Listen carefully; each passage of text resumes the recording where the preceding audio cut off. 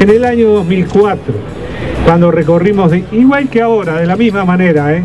y comimos torta frita, nos pusimos campera, nos pusimos corbata, anduvimos en ómnibus, en moto, en aquel momento y ahora también.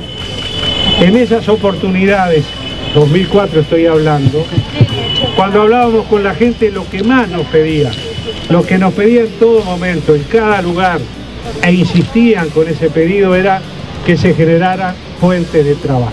Vivíamos una crisis económica y social enorme porque el modelo de país que pensó y soñó el Frente Amplio se fue cumpliendo.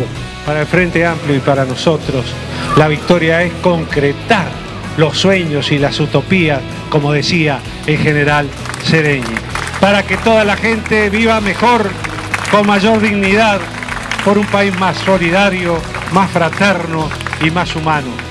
Esa es la victoria.